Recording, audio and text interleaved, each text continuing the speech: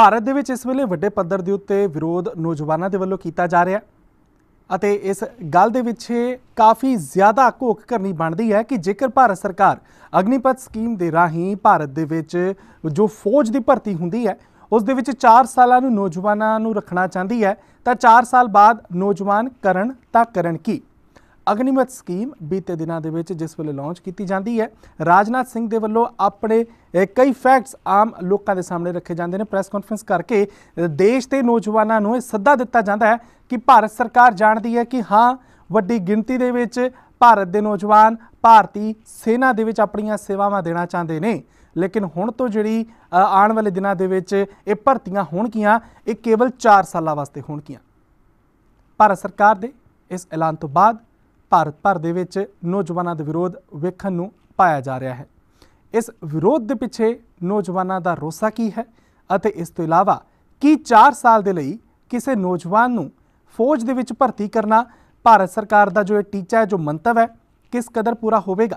ਭਾਰਤ ਸਰਕਾਰ ਤਾਂ ਕਹਿੰਦੀ ਹੈ ਕਿ ਸਾਲ 2023 ਜੁਲਾਈ ਦੇ ਮਹੀਨੇ ਦੇ ਵਿੱਚ ਪਹਿਲਾ ਬੈਚ 50000 ਨੌਜਵਾਨਾਂ ਦਾ ਤਿਆਰ ਹੋ ਜਾਵੇਗਾ। ਇਸ ਦੇ ਵਿੱਚ ਮੁੰਡੇ ਵੀ ਹੋਣਗੇ ਅਤੇ ਕੁੜੀਆਂ ਵੀ।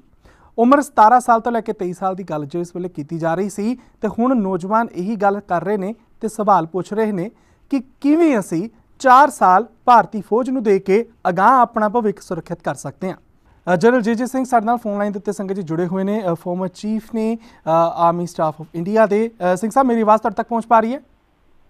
ਹਾਂਜੀ ਬਿਲਕੁਲ ਠੀਕ ਪਹੁੰਚ ਰਹੀ ਜੀ welcome to the show sir ਇਸ ਵੇਲੇ ਅਸੀਂ ਅਗਨੀਪਥ ਸਕੀਮ ਨੂੰ ਸਮਝਣ ਦੀ ਅਤੇ ਭਾਰਤ ਦੇ ਵਿੱਚ ਰੋਸ ਕਿਉਂ ਇਸ ਵੇਲੇ ਨੌਜਵਾਨਾਂ ਦੇ ਵਿੱਚ ਪਾਇਆ ਜਾ ਰਿਹਾ ਇਸ ਚੀਜ਼ ਨੂੰ ਸਮਝਣ ਦੀ ਕੋਸ਼ਿਸ਼ ਕਰ ਰਹੇ ਹਾਂ।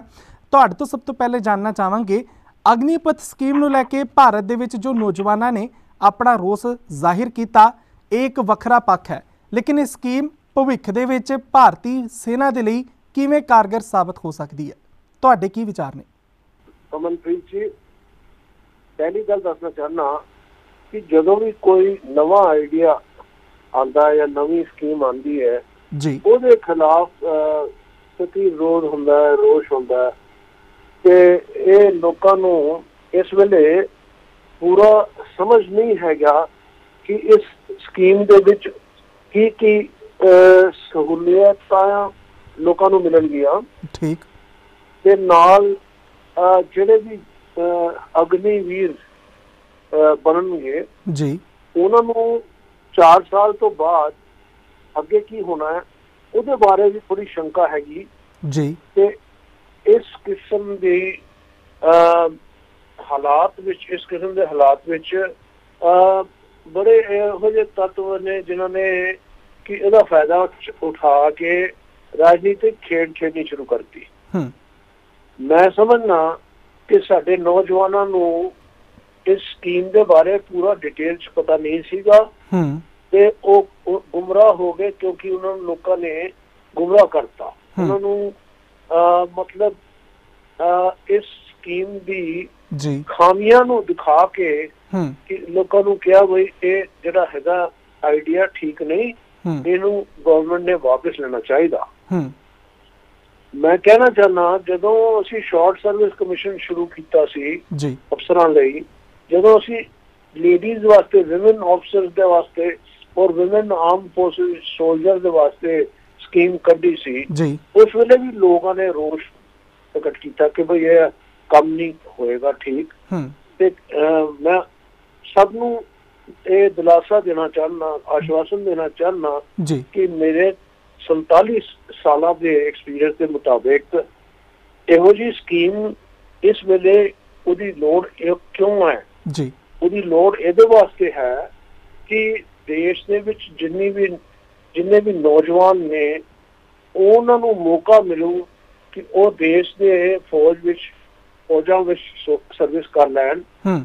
ਔਰ ਆਪਣੇ ਆਪ ਨੂੰ ਫਿਰ ਅੱਗੇ ਜਿਸ ਲਾਈਨ 'ਚ ਲੈ ਜਾਣਾ ਚਾਹੁੰਦੇ ਆ ਜੀ। ਉਹ ਨੌਜਵਾਨ ਹੋਣਗੇ ਉਹਨਾਂ ਦੇ ਕੋਲ 20 24 ਲੱਖ ਦਾ ਦੀ ਰਾਸ਼ੀ ਮਿਲੇਗੀ। ਹੂੰ। 12 ਲੱਖ ਤੇ ਉਹਨਾਂ ਨੇ ਅਨਾਉਂਸ ਕੀਤਾ ਹੈ। ਪਰ ਮੇਰੇ ਹਿਸਾਬ ਨਾਲ 4 ਸਾਲ ਵਿੱਚ 12 ਲੱਖ ਤੇ ਹਰ ਅਗਨੀਵੀਰ ਆਪਣੇ ਪੈਸੇ ਬਚਾ ਲੂਗਾ ਕਿਉਂਕਿ ਫੌਜ ਦੇ ਵਿੱਚ ਕੱਪੜਾ ਅਕੋਮੋਡੇਸ਼ਨ ਖਾਣਾ ਪੀਣਾ ਇਧਰ ਟਰੈਵਲ ਕਰਨਾ ਤੇ ਛੁੱਟੀਆਂ ਦੋ ਦੋ ਮਹੀਨੇ ਦੀ ਜਿਹੜੀਆਂ ਮਿਲਦੀਆਂ ਨੇ ਉਹ ਸਭ ਸਹੂਲਤਾਂ ਨੂੰ ਤੁਸੀਂ ਅਗਰ ਕੈਲਕੂਲੇਟ ਕਰ ਲਓ ਉਹਦਾ। ਹਿਸਾਬ ਕਰ ਲਓ ਉਹ 10 12 ਲੱਖ ਹੋਰ ਹੋ ਜਾਂਦਾ। ਹੈ। ਤੇ 20 22 ਲੱਖ ਲੈ ਕੇ 4 ਸਾਲ ਬਾਅਦ ਜਿਹੜਾ ਵੀ ਨੌਜਵਾਨ ਹੈ ਉਹ ਆਪਣੀ ਮਰਜ਼ੀ ਦੇ ਮੁਤਾਬਿਕ ਅੱਗੇ ਕੰਮ ਕਰ ਸਕਦਾ ਹੈ। ਹੂੰ। ਦੂਜੀ ਗੱਲ ਇਹ ਹੈ ਕਿ ਗਵਰਨਮੈਂਟ ਨੇ ਸਕੀਮ ਬਣਾਈ ਹੈ ਜੀ। ਜਿਹਦੇ ਨਾਲ ਇਹਨਾਂ ਨੂੰ ਜਿਹੜੇ ਸਾਡੇ ਪੈਰਾਮਿਲਟਰੀ ਫੋਰਸਸ ਨੇ ਬੀਐਸਐਫ ਸੀਆਰਪੀ ਆਈਟੀਬੀਪੀ ਔਰ ਹੋਰ ਇਹੋ ਜਿਹੇ ਉਹਨਾਂ ਵਿੱਚ ਵੀ ਰਿਜ਼ਰਵੇਸ਼ਨ। ਦਿੱਤੀਆਂ ਨੇ। ਉਹਨਾਂ ਨੂੰ ਪਰ 10% ਵੈਕੈਂਸੀਜ਼ ਉਹਨਾਂ ਨੂੰ ਦੇਣਗੇ। ਸਟੇਟ ਗਵਰਨਮੈਂਟਸ ਵੀ ਇਹਦੇ 'ਚ ਸ਼ਾਮਿਲ ਹੋ ਜਾਣਗੇ ਕਿ ਉਹਨਾਂ ਨੇ ਵੀ ਜਿਹੜੀਆਂ ਵੈਕੈਂਸੀ ਕੋਈ ਉਹਨਾਂ ਦੇ ਜੌਬ ਵਾਸਤੇ ਹੁੰਦੀਆਂ ਜੀ। ਇਹਨਾਂ ਨੂੰ ਪ੍ਰਾਇੋਰਟੀ ਦਿੱਤੀ ਜਾਏਗੀ ਪ੍ਰੈਫਰੈਂਸ ਦਿੱਤਾ ਜਾਏਗਾ। ਇਸ ਤੋਂ ਬਾਅਦ ਜਿਹੜੇ ਪਬਲਿਕ ਸੈਕਟਰ ਅੰਡਰਟੇਕਿੰਗ ਨੇ ਜਾਂ ਰੇਲਵੇਜ਼ ਹੈ ਪੋਸਟ ਐਂਡ ਟੈਲੀਗ੍ਰਾਫ ਹੈ ਬੈਂਕਸ ਹੈ ਔਰ ਗਵਰਨਮੈਂਟ ਦੇ ਜਿੰਨੇ ਹੋਰ ਮਹਿਕਮੇ ਨੇ ਉਹਨਾਂ ਵਿੱਚ ਵੀ ਇਹਨਾਂ ਨੂੰ ਪ੍ਰੈਫਰੈਂਸ ਔਰ ਪ੍ਰਾਇੋਰਟੀ ਦਿੱਤੀ ਜਾਊਗੀ। ਜੀ। ਤੇ ਨਾਲ ਜਦੋਂ ਛਾਤੀ ਤੇ ਆਪਣਾ ਬੈਜ ਲਗਾਣਗੇ ਆਨਰ ਦਾ ਬੈਜ ਯਾਨੀ ਕਿ ਅਗਨੀਵੀਰ ਦਾ ਬੈਜ ਉਹਦੇ ਨਾਲ ਉਹਨਾਂ ਨੂੰ ਮਾਨ ਇੱਜ਼ਤ ਵੀ ਮਿਲੂਗੀ ਔਰ ਉਹਨਾਂ ਨੂੰ ਲੋਕ ਦੇਖਣਗੇ। ਕਿ ਇਹਨਾਂ ਨੇ ਦੇਸ਼ ਦੀ ਸੇਵਾ ਕੀਤੀ ਹੈ। ਕਿਉਂਕਿ ਹਰ ਇੱਕ ਇਨਸਾਨ ਜਿਹੜਾ ਹੈਗਾ ਉਹ ਉਹਦੇ ਜਜ਼ਬਾ ਹੁੰਦਾ ਦੇਸ਼ ਦੇ ਵਾਸਤੇ ਕੁਝ ਕਰੀਏ। ਤੇ ਪੈਸੇ ਸਿਰਫ ਨਹੀਂ ਜ਼ਰੂਰੀ ਹੁੰਦੇ ਹਮੇਸ਼ਾ ਜ਼ਿੰਦਗੀ ਵਿੱਚ। ਇਹਦੇ ਨਾਲ ਨਾਲ ਮੈਂ ਇਹ ਵੀ ਕਹਿਣਾ ਚਾਹੁੰਦਾ ਕਿ ਇਨ ਇਹ ਜਿਹੜੇ ਮੁੰਡੇ ਆਣਗੇ ਇਹ ਥੋੜੇ ਜ਼ਿਆਦਾ ਪੜ੍ਹੇ ਲਿਖੇ ਹੋਣਗੇ ਹਾਈ ਟੈਕਨੋਲੋਜੀ ਔਰ ਆਧੁਨਿਕ ਜਿਹੜੀ ਵਾਰਫੇਅਰ ਹੈ। ਮਾਡਰਨ ਵਾਰਫੇਅਰ ਹੈਗੀ ਉਹਦੇ ਵਿੱਚ ਜਿਹੜਾ ਕੁਝ ਅਸੀਂ ਹਥਿਆਰ ਇਕਵਿਪਮੈਂਟ ਇਸਤੇਮਾਲ ਕਰਦੇ ਹੂੰ ਔਰ ਅੱਗੇ ਕਰਾਂਗੇ ਉਹਦੇ ਵਿੱਚ ਜਿਹੜੇ ਜ਼ਿਆਦਾ ਟੈਕਨੀਕਲ ਨੌਲੇਜ ਜਿਨ੍ਹਾਂ ਦੀ ਹੈਗੀ ਆਈਟੀ ਹੈਗੀ ਉਹ ਸਾਡੇ ਹੁਣ ਦੇ ਜ਼ਮਾਨਾ ਤੋਂ ਜ਼ਿਆਦਾ ਅੱਛੇ ਹੋਣਗੇ। ਇਹਦੇ ਨਾਲ ਮੈਂ ਇਹ ਵੀ ਕਹਿਣਾ ਚਾਹੁੰਦਾ ਕਿ ਗਵਰਨਮੈਂਟ ਨੇ ਪੱਥਰ ਦੀ ਕੋਈ ਲਕੀਰ ਨਹੀਂ ਬਣਾਈ ਕਿ ਬਈ ਆਹੀ ਹੋਊਗਾ। ਹੂੰ। ਜਿਸ ਤਰ੍ਹਾਂ ਤਜਰਬਾ ਹੋਏਗਾ ਜਿਸ ਤਰ੍ਹਾਂ ਦੋ ਤਿੰਨ ਚੇਂजेस ਆਲਰੇਡੀ ਕਰ ਦਿੱਤੀਆਂ ਦੋ ਤਿੰਨ ਇਸ ਸਕੀਮ ਨੂੰ ਆਕਰਸ਼ਕ ਬਣਾਉਣ ਵਾਸਤੇ ਜਿਸ ਤਰ੍ਹਾਂ 21 ਸਾਲ ਤੋਂ 23 ਸਾਲ ਕਰਤੀ ਇੱਕ ਸਾਲ ਇੱਕ ਪਹਿਲੀ ਵਾਰੀ ਕਿਉਂਕਿ ਜਿਹੜੇ ਦੋ ਮੁੰਡਿਆਂ ਨੇ 2 ਸਾਲ ਭਰਤੀ ਨਹੀਂ ਹੋਏ ਉਹਨਾਂ ਦੀ। ਉਮਰ ਵੱਧ ਗਈ ਹੈ। ਇਹਦੇ ਨਾਲ ਹੋਰ ਗਵਰਨਮੈਂਟ ਨੇ ਆ ਵੀ ਕਹਿ ਦਿੱਤਾ ਕਿ ਵੀ ਅਸੀਂ ਅਹ, ਜਿਹੜਾ ਪੈਰਾਮਿਲਟਰੀ ਫੋਰਸਿਸ ਵਿੱਚ ਇਹਨਾਂ ਨੂੰ ਭਰਤੀ ਕਰ ਦਾਂਗੇ 10% ਹੂੰ। ਵੈਕੈਂਸੀ ਰੱਖਾਂਗੇ। ਜੀ। ਇਹੋ ਜੀ ਚੀਜ਼ਾਂ ਜਿਹੜੀਆਂ ਨੇ ਉਹ ਗਵਰਨਮੈਂਟ ਨੇ ਰੱਖਿਆ ਮੰਤਰੀ ਨੂੰ ਤੇ ਆਰਮ ਫੋਰਸਿਸ ਦੇ ਜਿਹੜੇ ਸੈਨਾਪਤੀ ਨੇ ਉਹਨਾਂ ਨੂੰ ਵੀ ਦਿੱਤੀ ਹੈ ਕਿ ਵੀ ਤੁਸੀਂ ਆਪਣੀ ਸੁਝਾਅ ਆਪਣੇ ਸੁਝਾਅ ਸਾਨੂੰ ਦਿਓ। ਜੀ। ਸਾਡੇ ਨਾਲ ਸਾਂਝਾ ਕਰੋ ਅਸੀਂ ਹੋਰ ਬਦਲਾਅ ਜੇ ਲਿਆਣੇ ਹੈ ਤੇ ਲਿਆਵਾਂਗੇ। ਠੀਕ। ਤੇ ਨਾਲ ਇੱਕ ਬਹੁਤ ਅਹਿਮ ਚੀਜ਼ ਹੈ ਕਿ ਇਹ ਇਹਦਾ ਮੁੱਦਾ ਇੱਕ ਹੋਰ ਸੀ ਕਿ ਭਈ ਜਦੋਂ ਇਹ ਨੌਜਵਾਨ ਆਪਣੀ ਆਪਣੀ ਲਾਈਫ ਦੇ ਵਿੱਚ ਅੱਗੇ ਵਧਣਗੇ ਜੀ। ਤੇ ਉਹਨਾਂ ਨੂੰ ਜਿਹੜਾ ਹੈ ਪੈਨਸ਼ਨ ਇਹ ਨਹੀਂ ਦੇਣਗੇ ਕਿਉਂਕਿ 4 ਸਾਲਾਂ ਬਾਅਦ ਪੈਨਸ਼ਨ ਬਣਦੀ ਨਹੀਂ। ਹੂੰ।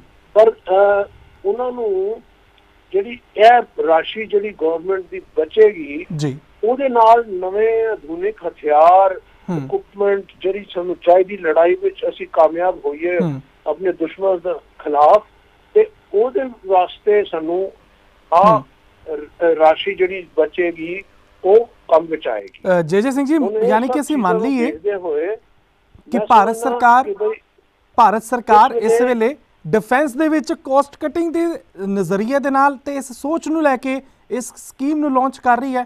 ਕਿਉਂਕਿ ਜਿਵੇਂ ਤੁਸੀਂ ਦੱਸਿਆ ਕਿ ਡਿਫੈਂਸ ਦੇ ਵਿੱਚ ਅਤ ਆਧੁਨਿਕ ਹਥਿਆਰ ਖਰੀਦੇ ਜਾ ਸਕਣ ਉਹ ਜਿਹੜਾ ਪੈਨਸ਼ਨ ਦਾ ਪੈਸਾ ਬਚਾ ਕੇ ਉੱਥੇ ਲਗਾਇਆ ਜਾ ਸਕਦਾ ਹੈ ਇਸ ਵੇਲੇ ਆਮ ਵਰਗ ਨੌਜਵਾਨ ਜੋ ਭਾਰਤੀ ਸੈਨਾ ਦੇ ਵਿੱਚ ਸ਼ਾਮਲ ਹੋਣਾ ਚਾਹੁੰਦਾ ਹੈ ਉਹਨਾਂ ਦਾ ਸਵਾਲ ਇਹ ਹੈ ਕਿ ਜਿਹੜੇ ਵਿਧਾਇਕ ਤੇ ਜਿਹੜੇ ਸਾਬਕਾ ਮੈਂਬਰ ਪਾਰਲੀਮੈਂਟ ਨੇ ਉਹਨਾਂ ਦਾ ਹੀ ਸਾਲ ਦਾ 125 ਕਰੋੜ ਦਾ ਖਰਚਾ ਹੈ ਕਿ ਉਹਨਾਂ ਨੂੰ ਪੈਨਸ਼ਨਾਂ ਮਿਲਦੀਆਂ ਨੇ।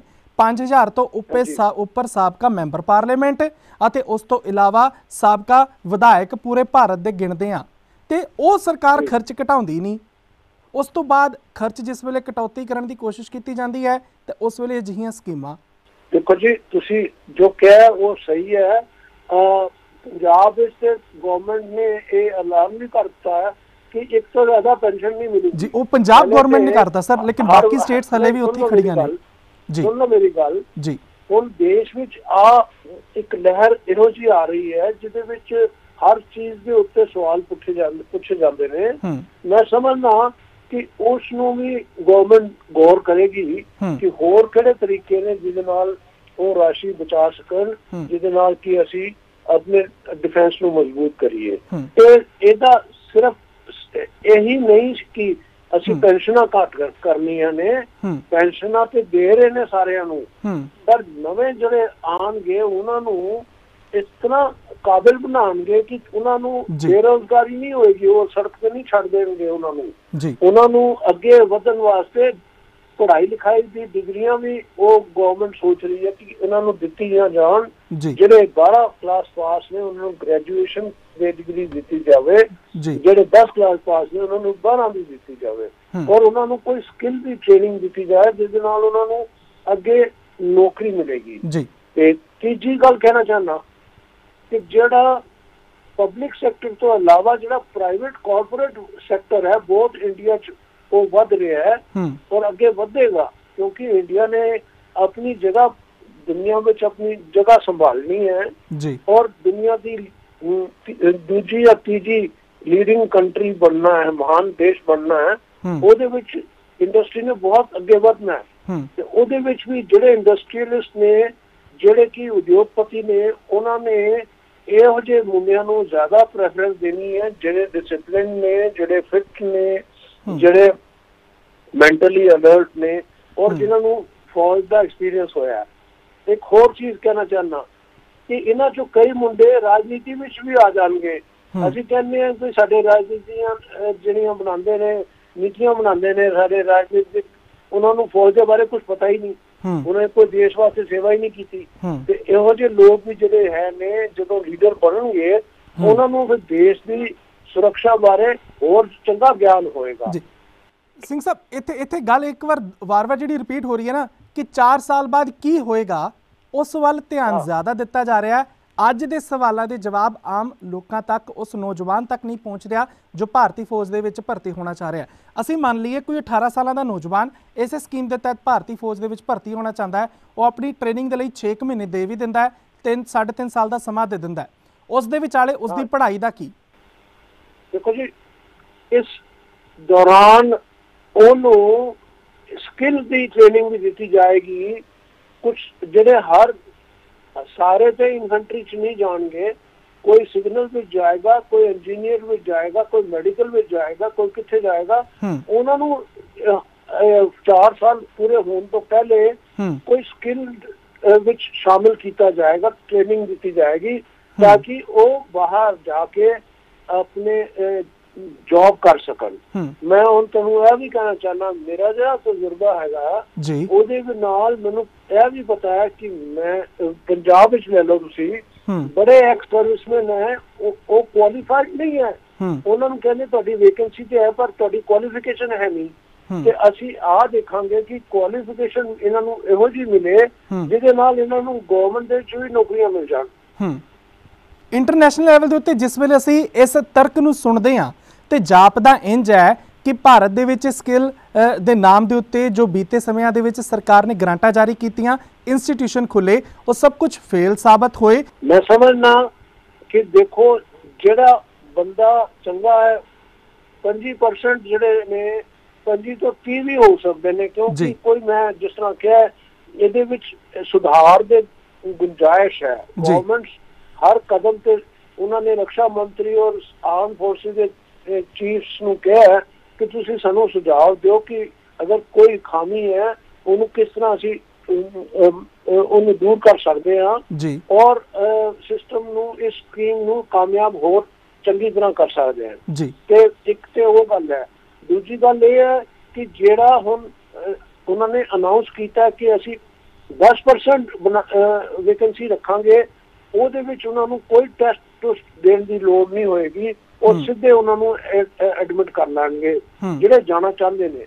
ਹੁਣ ਦੇਖੋ ਤੁਸੀਂ ਯੂਕੇ ਵਿੱਚ ਬੈਠੇ ਹੋ ਕੋਈ ਕੈਨੇਡਾ 'ਚ ਬੈਠਾ ਹੈ ਕੋਈ ਅਮਰੀਕਾ 'ਚ ਬੈਠਾ ਹੈ ਉੱਥੇ ਫੌਜ ਵਿੱਚ 4-5 ਸਾਲ ਤੋਂ ਜ਼ਿਆਦਾ ਕੋਈ ਨੌਕਰੀ ਕਰਨਾ ਚਾਹੁੰਦਾ ਨਹੀਂ। ਉਹ ਚਾਹੁੰਦਾ ਹੈ ਕਿ ਮੈਂ ਇਹ ਆਪਣਾ ਕਰਕੇ ਦੇਸ਼ ਦੀ ਸੇਵਾ ਕਰਕੇ ਮੈਂ ਆਪਣਾ ਕੁਝ ਕਰਾਂ ਮੈਂ। ਪ੍ਰਾਈਵੇਟ ਸੈਕਟਰ ਵਿੱਚ ਕਿੱਥੇ ਜਾਵਾਂ ਮੈਂ ਆਪਣੀ ਕੋਈ ਕੰਪਨੀ ਬਣਾਵਾਂ ਲੇਕਿਨ ਭਾਰਤੀ ਪਿੰਡਾਂ ਦੇ ਵਿੱਚ ਸਿੰਘ ਸਾਹਿਬ ਸਿੰਘ ਸਾਹਿਬ ਤੁਹਾਡਾ ਨੋਟ ਬਿਲਕੁਲ ਠੀਕ ਹੈ। ਤੁਸੀਂ ਬਾਹਰਲੇ ਮੁਲਕਾਂ ਦੀ ਜਿਹੜੀ ਇਹ ਗੱਲ ਫੜੀ ਹੈ ਜੋ ਤੁ- ਤੁਹਾਡਾ ਐਕਸਪੀਰੀਅੰਸ ਰਿਹਾ ਜੋ ਤੁਸੀਂ ਸਮਝਿਆ ਹੈ ਕਿ ਹਰ ਕੋਈ ਦੇਸ਼ ਦੀ ਸੇਵਾ ਕਰਕੇ ਆਪਣਾ ਕੁਝ ਕਰਨਾ ਚਾਹੁੰਦਾ ਹੈ। ਲੇਕਿਨ ਇੱਥੇ ਗੱਲ ਹੈ ਪੰਜਾਬ ਦੇ ਉਹਨਾਂ ਪਿੰਡਾਂ ਦੀ ਬਿਹਾਰ ਦੇ ਉਹਨਾਂ ਪਿੰਡਾਂ ਦੀ ਜਿੱਥੋਂ ਦੇ ਪਿੰਡ ਦੇ ਨੌਜਵਾਨ ਦੇ ਕੋਲ ਜੇਕਰ ਕੋਈ ਕਿੱਤਾ ਨਹੀਂ ਬਚਦਾ ਤਾਂ ਉਹ ਭਾਰਤੀ ਫੌਜ ਦੇ ਵੱਲ ਇੱਥੇ ਡਿਫੈਂਸ ਦੇ ਵਿੱਚ ਜਾਣ ਦੀ ਆਪਣੀ ਇੱਕ ਉਮੀਦ ਰੱਖਦਾ ਹੈ। ਉਸ ਉਮੀਦ ਨੂੰ ਘਟਾ ਦਿੱਤਾ ਹੈ। ਇੱਕ ਹੋਰ ਦੋਸ਼ ਲੱਗ ਰਿਹਾ ਹੈ ਸਿੰਘ ਸਾਹਿਬ ਕਿ ਸਾਲ 2020 ਅਤੇ 2021 ਦੇ ਵਿੱਚ ਫੌਜ ਦੇ ਵਿੱਚ ਭਰਤੀਆਂ ਨਹੀਂ ਹੋਈਆਂ, ਉਹ ਡਿਲੇਜ਼ ਹੁੰਦਾ ਰਿਹਾ ਅਤੇ ਹੁਣ ਉਹਨਾਂ ਭਰਤੀਆਂ ਦੇ ਵਿੱਚ ਕਿਸੇ ਤਰੀਕੇ ਦੀ ਕੋਈ ਇਨਵੋਲਵਮੈਂਟ ਉਹਨਾਂ ਨੌਜਵਾਨਾਂ ਦੀ ਨਹੀਂ ਰਹੇਗੀ, ਜਿਨ੍ਹਾਂ ਨੇ ਪੇਪਰ ਦਿੱਤੇ। ਭਰਤੀਆਂ ਅੱਗੇ ਪਾ ਦਿੱਤੀਆਂ ਜਾ ਰਹੀਆਂ ਨੇ। ਉਸ ਚੀਜ਼ ਤੋਂ ਵੀ ਸਰਕਾਰ ਪੱਲਾ ਝਾੜਨ ਦੇ ਲਈ ਇਸ ਸਕੀਮ ਨੂੰ ਲਾਂਚ ਕਰ ਰਹੀ ਹੈ। ਇਸ ਚੀਜ਼ ਨੂੰ ਕਿਵੇਂ ਤੁਸੀਂ ਡਿਫੈਂਡ ਕਰੋਗੇ?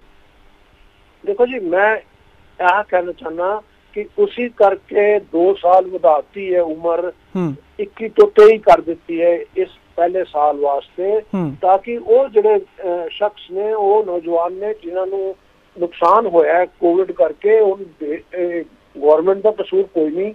ਇਹ ਤੇ ਕਹਿੰਦੇ ਨਾ ਕੁਦਰਤ ਸੀਗੀ ਇਹ ਤੇ ਚੀਜ਼ ਦੁਨੀਆ ਭਰ ਵਿੱਚ ਹੈਗੀ। ਤੇ ਮੈਂ ਆਹੀ ਕਹਿਣਾ ਚਾਹੁੰਦਾ ਕਿ ਉਹਨਾਂ ਦੇ ਵਾਸਤੇ 23 ਸਾਲ ਦੀ ਉਮਰ ਦਾ ਕਰਤਾ ਹੈ। ਅੱਛਾ। ਔਰ ਦੂਜੀ। ਗੱਲ ਇਹ ਹੈ ਕਿ ਇਹ ਜਿਹੜੇ ਨੌਜਵਾਨ ਨੇ ਇਹਨਾਂ ਨੂੰ ਇਸ ਸਕੀਮ ਦੇ ਵਿੱਚ ਆਉਣ ਤੋਂ ਬਾਅਦ ਪਤਾ ਲੱਗੇਗਾ ਕਿ ਉਹਨਾਂ ਨੂੰ ਕੀ ਫਾਇਦਾ ਹੈ ਕੀ। ਗੁਣ ਨੇ ਕੀ ਖਾਮੀਆਂ ਨੇ ਕੀ ਨੁਕਸਾਨ ਹੈ। ਤੇ ਇਸ ਕਰਕੇ ਇਹਨੂੰ ਜਲਦਬਾਜ਼ੀ 'ਚ ਨਾਕਾਰ ਨਾ ਕੀਤਾ ਜਾਏ ਆਹੀ। ਮੇਰੀ ਗੁਜ਼ਾਰਿਸ਼ ਹੈ। ਔਰ ਸਮਝਣ ਦੀ ਜ਼ਰੂਰਤ ਹੈ ਲੋਕਾਂ ਨੂੰ ਸਮਝਾਉਣ ਦੀ ਜ਼ਰੂਰਤ ਹੈ। ਸ਼ਾਇਦ ਕਿਥੇ ਪੂਰੀ ਅੱਛੀ ਤਰ੍ਹਾਂ ਨਾਲ ਲੋਕਾਂ ਨੂੰ ਇਹਦਾ ਗਿਆਨ ਨਹੀਂ ਹੋਇਆ। ਇਹ ਅਣਜਾਣ ਬੱਚੇ ਨੇ ਇਹਨਾਂ ਨੂੰ ਪੋਲੀਟੀਕਲ ਪਾਰਟੀ ਵੀ ਗੁੰਮਰਾਹ ਕਰਦੀਆਂ ਜੀ। ਨੇ। ਉਹ ਵੀ ਉਹਨਾਂ ਦੇ ਪਿੱਛੇ ਨੇ। ਤੁਸੀਂ ਦੇਖੋ ਗੌਰ ਨਾਲ ਵੀਡੀਓ ਦੇਖੋ ਉਹਦੇ ਵਿੱਚ ਭਰਤੀ ਹੋਣ ਵਾਲੇ ਜਵਾਨ ਹੈ ਹੀ ਨਹੀਂ ਮੁੰਡੇ ਨਹੀਂ ਹੈ। ਇਹ ਵੱਡੇ ਨੇ ਕੋਈ ਵੱਡੇ ਨੇ ਕੋਈ ਬੱਚੇ ਨੇ। ਤੇ ਇਹ ਸਾਰੇ ਤੁਸੀਂ ਸਮਝ ਲਓ ਇਹ ਰਾਜਨੀਤਿਕ ਖੇਡ ਜੀ ਬਣਾ ਦਿੱਤੀ ਹੈ ਇਹਨਾਂ ਨੇ। ਆਪੋਜੀਸ਼ਨ ਦੇ ਜ਼ਿਆਦਾ ਲੋਕ ਆਪਣਾ ਰੋਸ ਦਿਖਾ ਰਹੇ ਨੇ।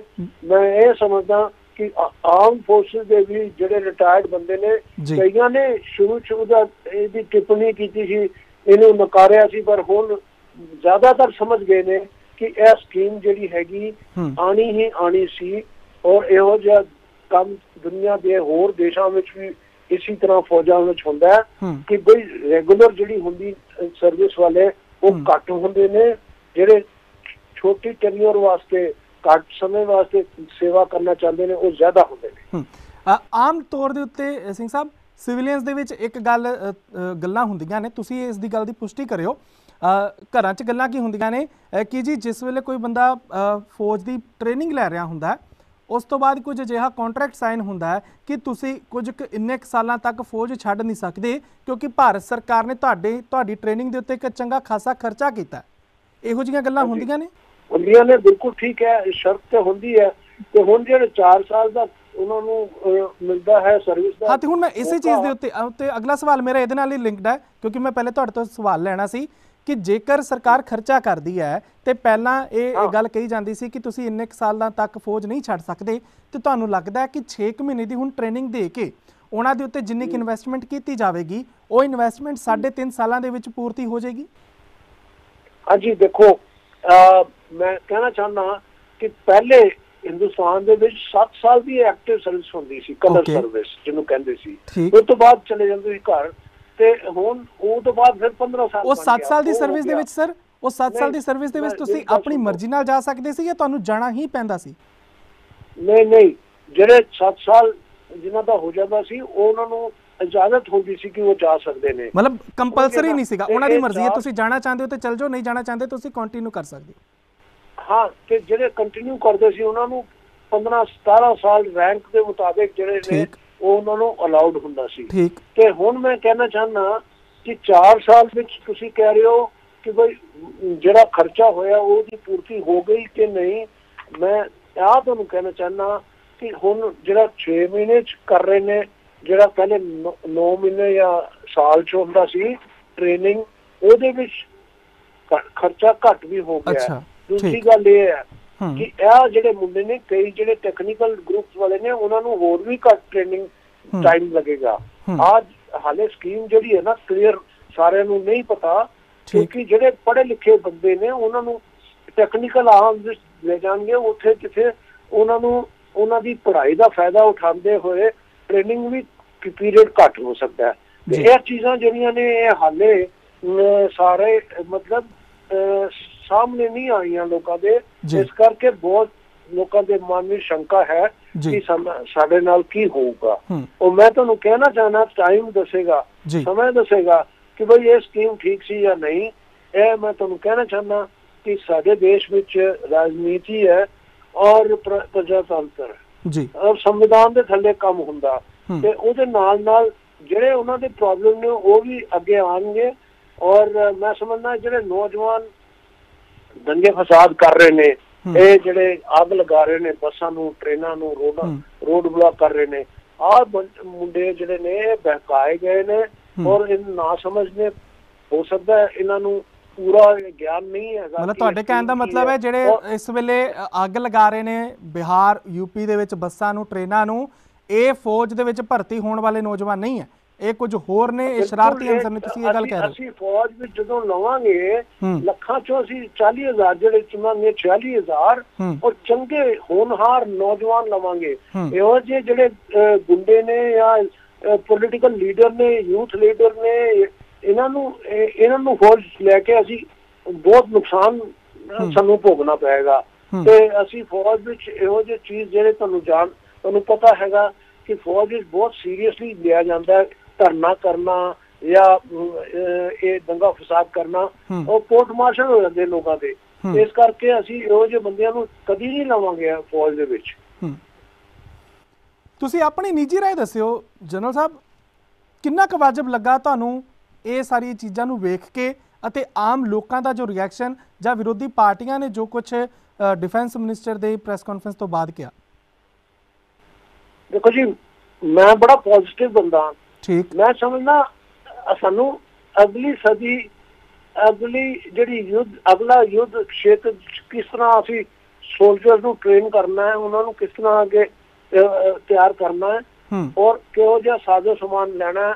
ਉਹਦੇ ਬਾਰੇ ਅਸੀਂ ਸੋਚੀਏ ਚੰਗਾ ਰਹੂਗਾ। ਔਰ ਮੈਂ ਇਹੀ ਕਹਿਣਾ ਚਾਹਨਾ ਕਿ ਇਹ ਨੌਜਵਾਨ ਜਿਹੜੇ ਨੇ ਆ ਪਹਿਲੇ ਦੇ ਜਵਾਨਾਂ ਕੋਲੋਂ ਜ਼ਿਆਦਾ ਪੜ੍ਹੇ ਲਿਖੇ ਹੋਣਗੇ। ਔਰ ਇਸ ਕਰਕੇ ਫੌਜ ਦੇ ਵਿੱਚ ਕੋਈ ਨਹੀਂ ਸਰ ਸਰ ਜ਼ਿਆਦਾ ਕੋਈ ਲਿਖਿਆਂ ਦੀ ਗੱਲ ਤਾਂ ਅਸੀਂ। ਸਰ ਤਦ ਕਰ ਸਕਦੇ ਸੀ ਕਿ ਜੇਕਰ ਭਾਰਤ ਸਰਕਾਰ ਕਹਿੰਦੀ ਕਿ ਅਸੀਂ ਘੱਟੋ ਘੱਟ ਉਹ ਬੰਦਾ ਲਾਂਗੇ ਜਿਨੇ ਮਾਸਟਰਸ ਕੀਤੀ ਹੋਵੇਗੀ। ਇੱਥੇ ਤਾਂ ਉਮਰ ਹੀ 17 ਸਾਲ ਰੱਖ ਦਿੱਤੀ ਗਈ ਹੈ। ਬੱਚੇ ਨੇ ਹਲੇ 12ਵੀਂ ਪਾਸ ਕੀਤੀ ਵੀ ਨਹੀਂ ਹੋਣੀ। 17 ਤੋਂ ਲੈ ਕੇ 23 ਸਾਲ। ਜੇ ਮਾਸਟਰਸ ਦੀ ਵੀ ਅਸੀਂ ਗੱਲ ਕਰੀ ਤਾਂ 25 ਸਾਲ ਤੱਕ ਦੀ ਉਮਰ ਤੱਕ ਬੰਦਾ ਮਾਸਟਰਸ ਆਪਣੀ ਪੂਰੀ ਕਰਦਾ ਫਿਰ ਕਿਸ ਆਧਾਰ ਨਾਲ ਅਸੀਂ ਕਹਿ ਰਹੇ ਹਾਂ ਕਿ ਬੱਚੇ ਪੜ੍ਹੇ ਲਿਖੇ ਹੋਣਗੇ? ਨਹੀਂ ਨਹੀਂ। ਮੈਂ ਨਹੀਂ ਕਹਿ ਰਿਹਾ ਕਿ ਮਾਸਟਰ ਨਹੀਂ ਪੜ੍ਹੇ ਲਿਖੇ ਦੀ ਗੱਲ ਅਸੀਂ ਕਰ ਰਹੇ ਪੜ੍ਹੇ ਲਿਖੇ ਤਾਂ ਹੋਏਗਾ ਨਾ 12ਵੀਂ ਤੋਂ ਬਾਅਦ ਗ੍ਰੈਜੂਏਸ਼ਨ ਕਰੇ ਗ੍ਰੈਜੂਏਸ਼ਨ ਤੋਂ ਬਾਅਦ ਮਾਸਟਰਸ ਕਰੇ। ਆਹੀ ਕਹਿ ਰਿਹਾ ਜੀ। ਕਿ 10ਵੀਂ ਤੋਂ ਬਾਅਦ ਵੀ ਜਿਹੜੇ ਜੁਆਇਨ ਕਰਨਗੇ ਹੋਣਹਾਰ ਬੱਚੇ ਉਹ ਉਹਨਾਂ ਨੂੰ ਅਸੀਂ 12ਵੀਂ ਦਾ ਡਿਗਰੀ ਦੇ ਕੇ Indira Gandhi National Open University ਤੋਂ। ਉਹਨਾਂ ਨੂੰ ਹਰ ਬੰਦੇ ਨੂੰ ਕੁਝ ਨਾ ਕੁਝ ਫਾਇਦਾ ਹੋਏਗਾ। ਔਰ ਜਿਹੜੇ 12ਵੀਂ ਪਾਸ ਨੇ ਉਹਨਾਂ ਨੂੰ ਡਿਗਰੀ ਦੇ ਦਿੱਤੀ ਜਾਏਗੀ ਤਾਂ ਕਿ ਉਹ ਗ੍ਰੈਜੂਏਟ ਦੇ ਬਰਾਬਰ ਹੋਣ। ਤੇ ਆ ਮੈਂ ਤੁਹਾਨੂੰ ਕਹਿਣਾ ਚਾਹਨਾ। ਕਿ ਇਸ ਸਕੀਮ ਦੇ ਵਿੱਚ ਲੋਕਾਂ ਨੂੰ ਨੌਜਵਾਨਾਂ ਨੂੰ ਫਾਇਦਾ ਹੋਏਗਾ। ਆ ਤੇ ਹਾਲੇ ਨਾ ਸਮਝ ਹੈ ਨਾ ਸਮਝੀ ਹੈ ਕਿ ਬਈ ਉਹ ਕਹਿੰਦੇ 4 ਸਾਲ ਬਾਅਦ ਤੁਹਾਨੂੰ ਸੜਕ ਤੇ ਛੱਡ ਦੇਣਗੇ। ਆ ਨਹੀਂ ਹੋਣਾ। ਪੂਰਾ ਦੇਸ਼ ਨਾਲ ਹੈਗਾ। ਮੈਂ ਇਹ ਕਹਿਣਾ ਚਾਹਨਾ ਪ੍ਰਾਈਵੇਟ ਸੈਕਟਰ ਵੀ ਹੈਗਾ। ਉਹਨਾਂ ਨੇ ਵੀ ਆਪਣੇ ਆਪਣੇ ਅਨਾਉਂਸਮੈਂਟ ਕੀਤੀਆਂ। ਕਿ ਇਹ ਜਿਹੜੇ ਅਗਨੀਵੀਰ ਹੋਣਗੇ ਇਹਨਾਂ ਨੂੰ ਅਸੀਂ ਫਸਟ ਚੋਇਸ ਦਵਾਂਗੇ ਫਸਟ ਪ੍ਰੈਫਰੈਂਸ ਦਵਾਂਗੇ। ਮਤਲਬ ਜੇ ਗਵਰਨਮੈਂਟ ਨਾਲ ਹੈ ਸਟੇਟ ਗਵਰਨਮੈਂਟ ਨਾਲ ਹੈ ਪੂਰਾ ਦੇਸ਼ ਨਾਲ ਹੈ ਤੇ ਬੱਚਿਆਂ ਨੂੰ ਕੀ ਫਿਕਰ ਕਾ ਫਿਰ ਕੋਈ ਫਿਕਰ ਨਹੀਂ ਹੋਣਾ ਚਾਹੀਦਾ। ਔਰ ਮੈਂ ਇਹ ਵੀ ਕਹਿਣਾ ਚਾਹੁੰਦਾ ਅਸੀਂ ਵੀ 24 ਸਾਲ ਦੇ ਸੀ ਸਾਡੇ ਕੋਲ 20 ਲੱਖ ਕਦੀ ਅਸੀਂ ਸੁਪਨਾ ਵੀ ਨਹੀਂ ਲੈ ਸਕਦੇ ਸੀਗੇ। ਸਰ ਸਰ ਤੁਹਾਨੂੰ ਅ, 12 ਲੱਖ ਤੇ ਅਨਾਉਂਸ। ਕੀਤਾ ਹੈ ਨਾ ਹੂੰ। ਜਿਹੜਾ ਉਹਨੂੰ ਤਨਖਾਹ ਮਿਲੂਗੀ ਹੂੰ 30 30 35000 ਪਲੱਸ ਜੇ ਉਹ ਕਸ਼ਮੀਰ ਜਾਂ ਨਾਰਥ ਈਸਟ ਵਿੱਚ ਜਾਣਗੇ ਉਹਨਾਂ ਨੂੰ ਹਾਈ ਆਲਟੀਟਿਊਡ ਅਲਾਉਂਸ ਮਿਲੂਗਾ 40 50000 ਤੋਂ ਘੱਟ ਨਹੀਂ ਹੋਏਗਾ ਸਰ ਤੇ ਮੈਂ ਤੁਹਾਨੂੰ ਸਰ ਖਰਚਾ ਕੁਝ ਸੰਗਤ ਨੂੰ ਖਰਚਾ ਤਨਖਾਹ ਦਾ ਸਲੈਬ ਵੀ। ਦੱਸ ਦਿੰਨੇ ਆ ਸੰਗਤ ਜੀ ਪਹਿਲੇ ਸਾਲ 30000 ਤਨਖਾਹ ਮਿਲਣੀ ਹੈ 3000 ਕੱਟਿਆ ਜਾਣਾ। ਠੀਕ ਹੈ ਜੀ ਮਾਫੀ ਚਾਹਾਂਗਾ 3000 ਨਹੀਂ 20% ਕੱਟਿਆ ਜਾਣਾ ਹੈ, ਅ, 9000 ਕੱਟਿਆ ਅ, 6000 ਕੱਟਿਆ ਜਾਣਾ। ਦੂਸਰੇ ਸਾਲ 33000 ਫਿਰ 36000 ਫਿਰ 40000 ਇਹ ਤਨਖਾਹਾਂ ਦਾ ਸਲੈਬ ਹੋਏਗਾ ਜੋ ਪਹਿਲੇ ਸਾਲ ਤੋਂ ਲੈ ਕੇ ਚੌਥੇ ਸਾਲ ਤੱਕ ਦਿੱਤਾ ਜਾਏਗਾ। ਜਨਰਲ ਸਾਹਿਬ ਪੰਜਾਬ ਪਿਛਲੇ ਲੰਬੇ ਸਮੇਂ ਤੋਂ ਪੰਜਾਬ ਦੀ ਡਿਫੈਂਸ ਸਰਵਿਸਿਜ਼ ਦੇ ਭਾਰਤ ਦੀ ਡਿਫੈਂਸ ਸਰਵਿਸਿਜ਼ ਦੇ ਵਿੱਚ ਆਪਣਾ ਇੱਕ ਵੱਡੀ ਭੂਮਿਕਾ ਅਦਾ ਕਰਦਾ ਹੋਇਆ ਨਜ਼ਰ ਆ ਰਿਹਾ। ਪੰਜਾਬ ਦੇ ਨੌਜਵਾਨਾਂ ਦੇ ਲਈ ਕੋਈ ਵਿਜ਼ਨ ਹੋਵੇ ਤੁਹਾਡੇ ਕੋਲ ਕਿਸ ਕਦਰ ਇਹ ਅਗਨੀਪਥ ਸਕੀਮ ਨੂੰ ਉਹ ਅਡਾਪਟ ਕਰਨ? ਮੈਂ ਇਹੀ ਸਲਾਹ ਦੇਣਾ ਚਾਹੁੰਦਾ ਤੁਸੀਂ ਪਹਿਲੇ ਤੇ ਆਂਕੜੇ ਦੇ ਨਾ ਤਨਖਾਹ ਦੇ ਉਹ ਬੇਸਿਕ ਪੇ ਹੈ ਉਹਦੇ ਉੱਤੇ ਡੀਏ ਮਿਲੇਗਾ। ਉਹਦੇ ਉੱਤੇ ਉਹਨਾਂ ਨੂੰ ਅਲਾਉਂਸਸ ਮਿਲਣਗੀਆਂ ਹਾਈ ਆਲਟੀਟਿਊਡ ਸਿਆਚਨ ਦੀ ਕਿੱਥੇ। ਦੀ ਜੋ ਹੋਰ ਜਿੱਥੇ ਵੀ ਹੈਗੇ ਨੇ। ਤੇ ਉਹ ਸਭ ਮਿਲਾ ਕੇ 40 50 ਹਜ਼ਾਰ ਤੋਂ ਉੱਤੇ ਚਲੀ ਜਾਣੀ ਇਹਨਾਂ. ਦੇ ਹੱਥ ਵਿੱਚ ਜਿਹੜੇ ਰਾਸ਼ੀ ਹੈ ਉਹਦੇ ਵਿੱਚੋਂ ਜਿਹੜਾ ਉਹ ਆਪਣਾ ਸੇਵ ਕਰਨਗੇ ਉਨੀ ਰਕਮ ਗਵਰਨਮੈਂਟ ਵੀ ਉਹਦੇ ਚ ਪਾ ਦੇਗੀ। ਤਾਂ ਕਿ ਜਦੋਂ ਉਹ ਜਾਣਗੇ 12 ਲੱਖ ਤੇ ਆਸ-ਪਾਸ ਉਹਨਾਂ ਨੂੰ ਪੱਕਾ ਗਾਰੰਟੀਡ ਮਿਲੇਗਾ। ਬਾਕੀ ਜੇ ਉਹ ਆਪਣਾ ਅੱਛੀ ਤਰ੍ਹਾਂ ਸੇਵਾ ਕਰਨ ਅੱਛੀ ਤਰ੍ਹਾਂ ਆਪਣਾ ਪੈਸਾ ਬਚਾ ਕੇ ਖਰਚੀ ਕਰਨ ਤੇ ਉਹਨਾਂ ਦੇ 12 ਲੱਖ ਹੋਰ ਹੋ ਜਾਣਗੇ। ਸਰ ਤੇ 4 ਮੈਂ ਸਾਲ ਬਾਅਦ ਇਹ ਇਹ ਇਹ ਸਕੀਮ ਸਰ ਦੇਖੋ ਇਹ ਕਿਸੇ ਦੀ ਦੇਸ਼ ਭਗਤੀ ਕੋਈ ਆਪਣੇ ਦੇਸ਼ ਦੇ ਲਈ ਸੇਵਾ ਕਰਨਾ ਚਾਹੁੰਦਾ ਹੈ ਜੀ ਸਦਕੇ ਕਰੇ। ਲੇਕਿਨ 20 ਲੱਖ 15 ਲੱਖ 12 ਲੱਖ ਇਹ ਇਹ ਟਰਮਸ ਕਿਉਂ ਯੂਜ਼ ਕੀਤੀਆਂ ਜਾ ਰਹੀਆਂ ਨੇ? ਅੱਜ ਮੈਂ ਇਸ ਵਾਸਤੇ ਯੂਜ਼ ਕੀਤੀਆਂ ਜਾ ਰਹੀਆਂ ਨੇ ਕਿ ਇਹਨਾਂ ਨੂੰ ਫਾਈਨੈਂਸ਼ੀਅਲ ਸਿਕਿਉਰਿਟੀ ਮਿਲਣੀ ਚਾਹੀਦੀ। ਜਿਹਦੇ ਕੋਲ ਰਾਸ਼ੀ ਹੋਏਗੀ ਉਹ ਆਪਣਾ ਇੱਕ ਸਕੂਟਰ ਕਾਰ ਮੋਟਰਸਾਈਕਲ ਲੈ ਲੇਗਾ। ਉਹ ਆਪਣੇ ਨਾਲ ਆਪਣਾ ਹੋਰ ਕੁਆਲਿਟੀ ਆਫ ਲਾਈਫ ਨੂੰ ਵਧਾ ਲੇਗਾ ਤੇ ਦੂਜੀ ਗੱਲ ਦੱਸਣਾ ਚਾਹਨਾ ਜੀ। 25% ਅਨਾਉਂਸ ਕੀਤਾ ਹੈ ਕਿ ਉਹਨਾਂ ਨੂੰ ਜਿਹੜੇ ਚੰਗੇ ਨੇ ਉਹਨਾਂ ਨੂੰ ਅੱਗੇ ਪੂਰੀ ਸਰਵਿਸ ਕਰਨ ਦੇ ਵਾਸਤੇ ਉਹਨਾਂ ਨੂੰ ਯੂਜ਼ ਕੀਤਾ ਜਾਏਗਾ। ਉਹਨਾਂ ਨੂੰ ਮੌਕਾ ਦਿੱਤਾ ਜਾਏਗਾ। ਉਹੀ ਜਿਹੜੇ 25% ਨੇ।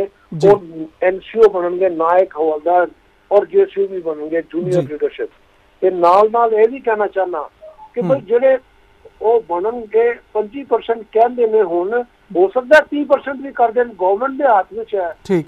ਯਾਨੀ ਸਵਾਲ 4 ਦੇ ਵਿੱਚੋਂ ਇੱਕ ਤਾਂ ਪੱਕਾ ਹੋ 25 ਕਰ ਰਹੇ ਸਕਦਾ। ਤਾਂ 30 ਕਰ ਦਿਓ?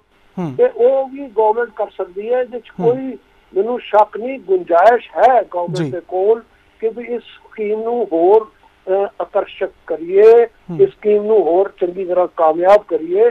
ਪਰ ਇਹ ਜਿਹੜਾ ਦਿਸ਼ਾ ਇਹ ਜਿਹੜੀ ਇਹ ਜਿਹੜਾ ਰਾਹ ਅਸੀਂ ਚੁਣਿਆ। ਇਹ ਠੀਕ ਰਾਹ ਹੈ ਜੀ ਜਨਰਲ ਸਾਹਿਬ, ਬੀਤੇ ਦਿਨ ਮੇਰੀ ਗੱਲ ਦਿੱਲੀ ਦੇ ਇੱਕ ਇਕਨੋਮਿਸਟ ਹੈਗੇ ਨੇ ਬੀਕੇ ਸਾਨੀ। ਉਹ ਵੀ ਤੁਹਾਡੀ ਪਾਰਟੀ ਨੂੰ ਥੋੜਾ ਸਪੋਰਟ ਕਰਦੇ ਨੇ, ਉਹਨਾਂ ਨਾਲ ਹੋ ਰਹੀ ਸੀ।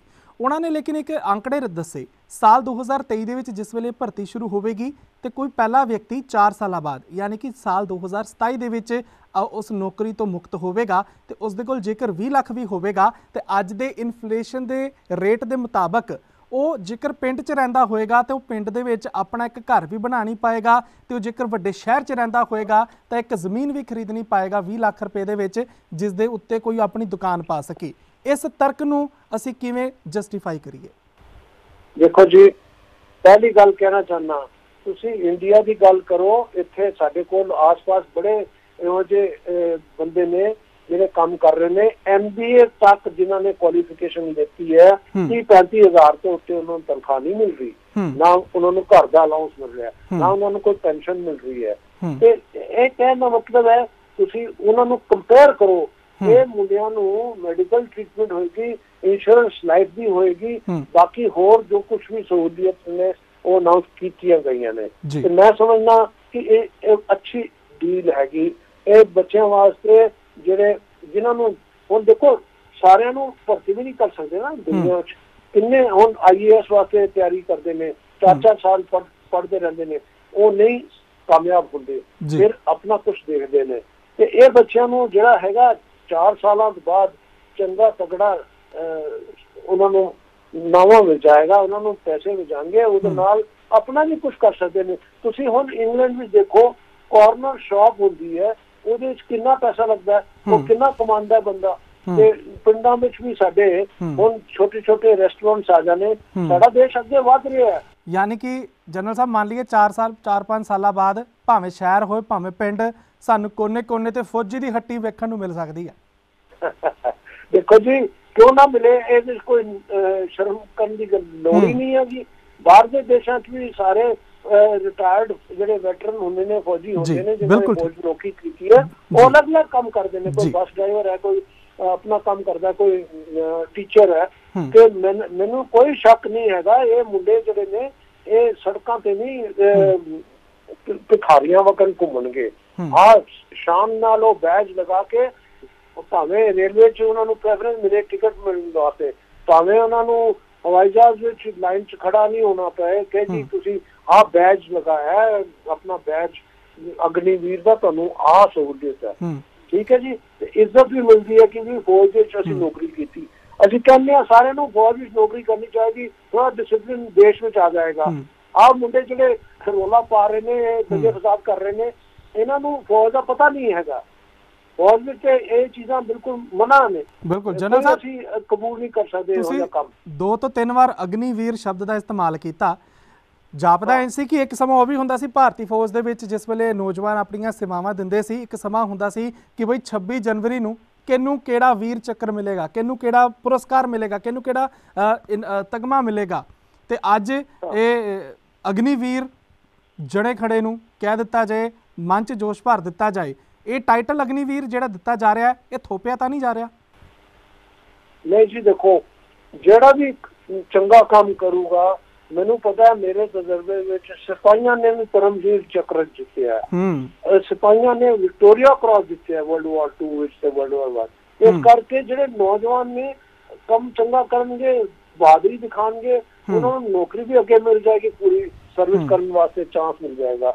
ਔਰ ਨਾਲ ਦੇ ਨਾਲ ਉਹਨਾਂ ਦੀ ਪ੍ਰਸ਼ੰਸਾ ਵੀ ਹੋਏਗੀ ਜੋ ਚੰਗੇ ਕੰਮ ਕਰਦੇ ਨੇ ਉਹਨਾਂ ਨੂੰ ਮੈਡਲ ਅਵਾਰਡ ਸਭ ਕੁਝ ਮਿਲੇਗਾ। ਤੇ ਇਸ ਕਰਕੇ ਇਹ ਕੋਈ ਨਹੀਂ ਹੈ ਕਿ ਉਹਨਾਂ ਦੇ ਖਿਲਾਫ ਕਿ ਇਹਨਾਂ ਨੂੰ ਅਸੀਂ ਸਮਝਾਂਗੇ ਕਿ ਇਹ ਸ਼ਡਿਊਲ ਕਾਸਟ ਵਕਨ ਅਲੱਗ ਨੇ। ਨਹੀਂ ਉਹਨਾਂ ਨੂੰ ਬਾਇਜ਼ਤ ਜਿਸ ਤਰ੍ਹਾਂ ਬਾਕੀ ਨੇ। ਉਸ ਤਰ੍ਹਾਂ ਹੀ ਉਹਨਾਂ ਨੂੰ ਮਾਨ ਇੱਜ਼ਤ ਮਿਲੇਗੀ। ਜੀ। ਪੈਂਡੈਮਿਕ ਤੋਂ ਬਾਅਦ ਭਾਰਤ ਦੇ ਵਿੱਚ ਬੇਰੋਜ਼ਗਾਰੀ ਦਰ ਕਾਫੀ ਵਧਿਆ ਹੈ। ਅਸੀਂ ਉਸ ਦਰ ਨੂੰ ਜਿਸ ਵੇਲੇ ਵੇਖਦੇ ਹਾਂ ਤੇ ਭਾਰਤ ਸਰਕਾਰ ਦੀ ਇਸ ਵੇਲੇ ਦੀ ਇਹ ਸਕੀਮ ਦਿਖਾਉਂਦੀ ਹੈ ਕਿ ਹਾਂ, ਉਸ ਉਸ ਸਕੇਲ ਨੂੰ ਸੰਭਾਲਣ ਦੀ ਕੋਸ਼ਿਸ਼ ਕੀਤੀ ਜਾ ਰਹੀ ਹੈ। ਲੇਕਿਨ ਹਰ ਸਾਲ ਜਿਸ ਵੇਲੇ ਇਹ ਬੇਰੋਜ਼ਗਾਰੀ ਦਰ ਵਧੇਗਾ, ਹਰ ਸਾਲ 50000 ਨਹੀਂ ਕਹਿ ਲਈਏ, ਤਾਂ ਘੱਟੋ ਘੱਟ 30000 ਬੰਦਾ ਭਾਰਤੀ ਫੌਜ ਨੂੰ ਛੱਡੇਗਾ। ਉਹਨਾਂ ਵਿੱਚੋਂ ਕਿੰਨੇ ਕੁ ਆਪਣੇ ਕਿਸੇ ਬਿਜ਼ਨਸ ਨੂੰ ਸ਼ੁਰੂ ਕਰ ਪਾਣਗੇ, ਕਿੰਨੇ ਕੁ ਇੰਨੇ ਕੁ ਕਾਬਲ ਹੋਣਗੇ ਕਿ ਉਹ ਆਪਣੇ ਘਰ ਨੂੰ ਚਲਾ ਸਕਣ? ਇਹ ਸਵਾਲ ਚਿੰਤਾ ਦਾ ਵਿਸ਼ਾ ਹੈ ਜਾਂ ਨਹੀਂ?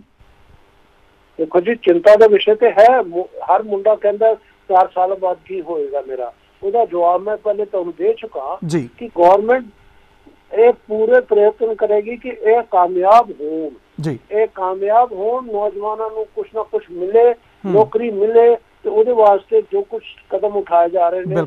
ਉਹ ਇਸੇ ਵਾਸਤੇ ਉਠਾਏ ਜਾ ਰਹੇ ਨੇ ਔਰ ਅੱਗੇ ਵੀ ਚੱਕਣਗੇ ਕਿ ਇਹਨਾਂ ਨੂੰ ਅਸੀਂ ਸੜਕ ਤੇ ਨਾ ਛੱਡ ਦਈਏ। ਇਹਨਾਂ ਨੂੰ ਅਸੀਂ ਇਸਤੇਮਾਲ ਕਰਕੇ ਯੂਜ਼ ਐਂਡ ਥਰੋ ਜੀ। ਆਹ ਪਾਲਿਸੀ ਨਹੀਂ ਹੈ ਗਵਰਨਮੈਂਟ ਦੀ। ਪਾਲਿਸੀ ਹੈ ਇਹਨਾਂ ਨੂੰ ਇਸਤੇਮਾਲ ਕਰੋ ਔਰ ਇਹਨਾਂ ਨੂੰ ਇਸ ਲਾਇਕ ਬਣਾਓ ਕਿ ਅੱਗੇ ਵੀ ਦੇਸ਼ ਦੀ ਸੇਵਾ ਕਰਦੇ ਰਹਿਣ ਜਿਸ ਮਰਜ਼ੀ ਖੇਤ ਖੇਤਰ ਵਿੱਚ ਉਹ ਜਾਣਾ ਚਾਹੁੰਦੇ ਨੇ। ਜੀ।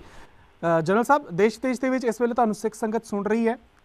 ਕੀ ਕੁਝ ਤੁਸੀਂ ਆਪਣੇ ਵੱਲੋਂ ਉਹਨਾਂ ਨੂੰ ਮੈਸੇਜ ਦੇਣਾ ਚਾਹੋਗੇ? ਕਿਉਂਕਿ ਤਸਵੀਰਾਂ ਦੋਵੇਂ ਆ ਰਹੀਆਂ ਨੇ। ਸਰਕਾਰ ਦਾ ਇਨੀਸ਼ੀਏਟਿਵ ਵੀ ਲੋਕਾਂ ਤੱਕ ਪਹੁੰਚ ਰਿਹਾ ਅਤੇ ਅਗਜ਼ਨੀ ਦੀਆਂ ਘਟਨਾਵਾਂ ਵਾਲੀਆਂ ਖਬਰਾਂ ਵੀ ਆਮ ਲੋਕਾਂ ਤੱਕ ਪਹੁੰਚ ਰਹੀਆਂ ਤੁਸੀਂ ਆਪਣਾ ਕੀ ਕੁਝ ਅਖੀਰਲਾ ਇੱਕ ਮੈਸੇਜ ਦੇਣਾ ਚਾਹੋਗੇ?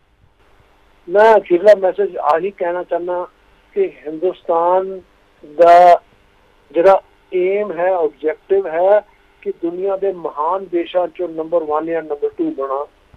ਹੋਰ ਮਤਲਬ ਸਾਡੇ 100 ਸਾਲ ਹੋ ਜਾਣਗੇ ਇਸ ਸਾਲ ਅਹ, 2047 ਵਿੱਚ। ਠੀਕ ਹੈ ਜੀ? ਤੇ ਅਸੀਂ ਚਾਹੁੰਦੇ ਹਾਂ ਕਿ ਹਿੰਦੁਸਤਾਨ ਉਸ ਜਗ੍ਹਾ ਤੇ ਪਹੁੰਚ ਜਾਏ ਔਰ ਹਿੰਦੁਸਤਾਨ ਨੂੰ ਕੋਈ ਰੋਕ ਨਹੀਂ ਸਕਦਾ। ਬਹੁਤ ਸਾਡੇ ਦੇਸ਼ ਵਿੱਚ ਕਾਬਲੀਅਤ ਹੈ ਸਾਡੇ ਲੋਕਾਂ 'ਚ ਕਾਬਲੀਅਤ ਹੈ ਮਿਹਨਤ ਕਰਨ ਵਾਲੇ ਨੇ। ਹੁਣ ਤੁਸੀਂ ਆਪਣੇ ਦੇਖ ਲਓ ਲੰਡਨ 'ਚ ਅਮਰੀਕਾ ਵਿੱਚ ਫਰਾਈਡੇ ਦੁਪਹਿਰ ਨੂੰ ਲੋਕ ਤਿਆਰੀ ਕਰਦੇ ਨੇ ਕਿ ਬਈ ਵੀਕਐਂਡ ਅਸੀਂ ਜਾਣਾ ਹੂੰ। ਇੰਡੀਆ 'ਚ ਕੋਈ ਕਰਦਾ? ਇੰਡੀਆ 'ਚ ਸੈਟਰਡੇ ਨੂੰ ਵੀ ਲੋਕ ਕੰਮ ਕਰਦੇ ਨੇ ਸੰਡੇ ਨੂੰ ਵੀ ਕੰਮ ਕਰਦੇ ਨੇ।